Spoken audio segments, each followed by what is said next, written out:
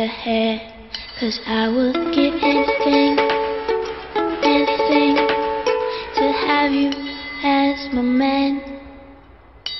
Come here.